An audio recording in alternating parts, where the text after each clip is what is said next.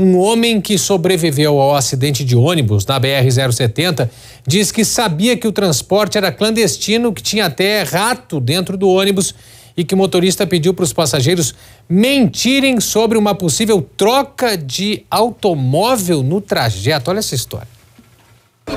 A irmã da Maria de Lourdes foi uma das vítimas do acidente. Ela estava vindo do Maranhão para fazer um check-up aqui em Brasília.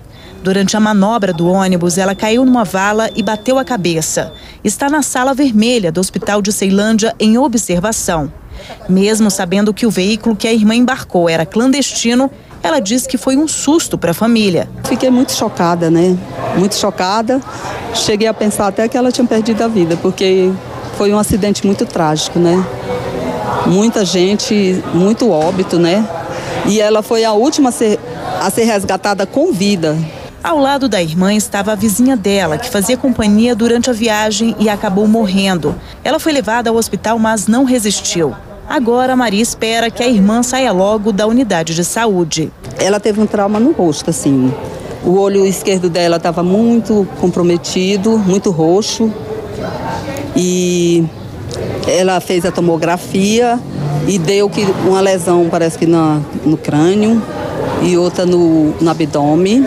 O Misael ele também estava no ônibus e recebeu alta do Hospital Regional de Ceilândia na tarde desta segunda-feira.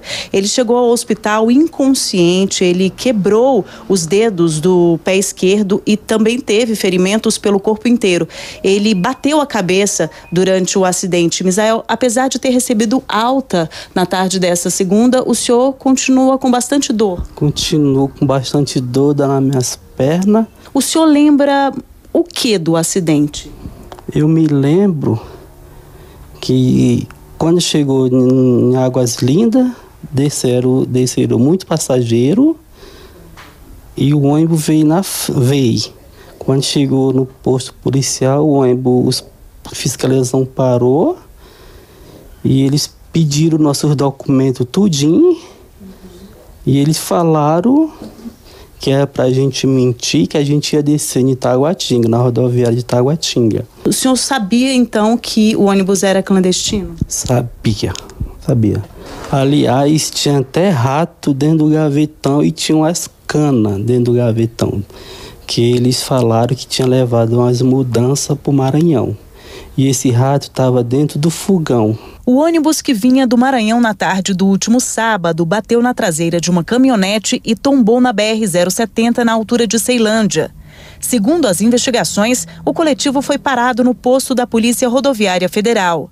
A Agência Nacional de Transportes Terrestres constatou que o veículo não tinha autorização para o transporte interestadual de passageiros, estava sem seguro e com os pneus carecas.